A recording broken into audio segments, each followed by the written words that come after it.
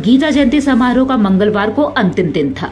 इस संबंध में यमुनानगर जिला प्रशासन द्वारा काफ़ी बेहतरीन इंतज़ाम किए गए थे। मगर कहीं न कहीं प्रचार प्रसार की कमी से गीता जयंती समारोह में आम लोग नदारद रहे और दर्शकों के लिए बिछाई गई कुर्सियाँ खाली नज़र आई। दर्शकों की बाट जो रही, यह कुर्सियाँ यमुनानगर में आयोजित गीता जयंती समारोह के अंतिम दिन सूने पड़े पंडाल में इसी तरह खाली पड़ी नज़र आई, जो इक्का दुक्का लोग समारोह में पहुँचे उन्होंने इसके पीछे कारण प्रशासन द्वारा प्रचार प्रसार की ओर ज़्यादा ध्यान न देना बताया। ऐसे ही लोगों से जब बात की गई तो उनका कहना था कि जिला प्रशासन द्वारा बहुत अच्छा इंतज़ाम किया गया था, मगर यह दुर्भाग्य की बात है कि कहीं न कहीं प्रचार प्रसार करने में प्रशासन चूक गया, जिसका यह नतीजा रहा कि शहरवासी इतना बेहतरीन कार्यक्रम देखने से वंचित रह गए। सामाजिक कार्यकर्ता शशि ने यह भी बताया कि गीता जयंती समारोह में विभिन्न विभागों द्वारा नए रोज़गार शुरू करने के स्टॉल भी लगाए गए थे। आयुष विभाग द्वारा इम्यूनिटी बढ़ाने के लिए लोगों को नायाब टिप्स भी दिए गए। मगर इस आयोजन में जो भी खर्च आया, उसका सदुपयोग तब माना जाता जब ज़्यादा से ज़्यादा संख्या में लोग यहाँ पहुँचते और इन सब का लाभ उठाते।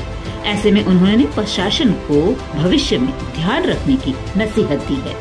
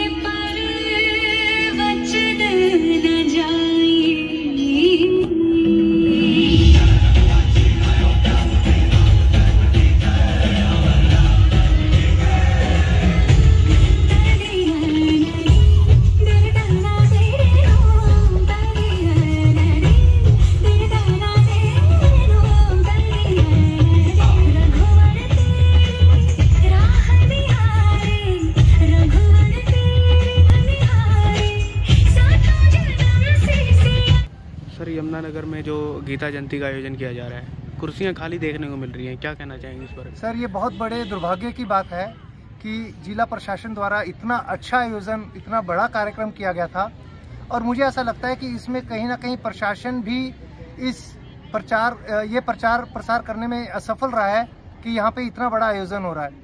प्रशासन के द्वारा यहाँ पर विभिन्न विभागों द्वारा स्टॉल्स लगाए गए हैं, जिसमें एमएसएमई की तरफ़ से एक स्टॉल लगाया गया है। कि कोई भी व्यक्ति अगर अपना रोज़गार शुरू करना चाहता है, उसको सारी फैसिलिटीज़ यहाँ मिलेंगी। इसके साथ हैफेड के द्वारा यहाँ पर अच्छी व्यवस्था की गई है। कृषि विभाग द्वारा यहाँ पर एक स्टॉल लगाया गया है। उद्यान विभाग द्वारा एक स्टॉल लगाया गया है कि जिसमें कोई भी व्यक्ति हॉर्टिकल्चर विभाग की स्कीम प्राप्त करके अपना बिज़नेस शुरू कर सकता है। ऐसे ही यहाँ पर पशुपालन विभाग द्वारा भी एक स्टॉल लगाया गया है कि जिसमें आप पशु, जो लोग पशुपालन का काम करते हैं, उनको किस प्रकार से सब्सिडीज मिल सकती हैं।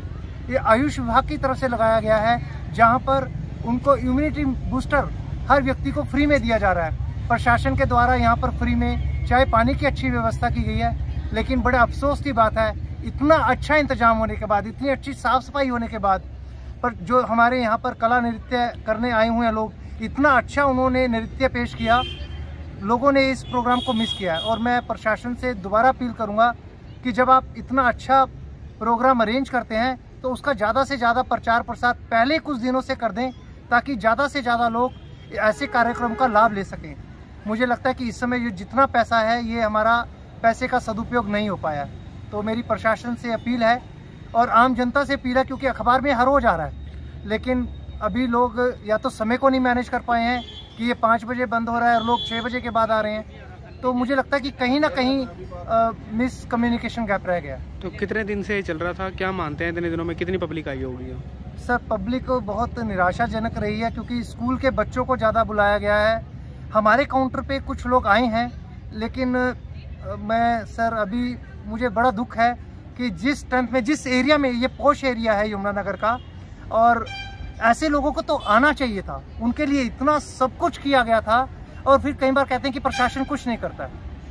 ये प्रशासन ने बहुत अच्छा एक इनिशिएटिव लिया, लेकिन लोगों ने इसका फ़ायदा नहीं उठाया।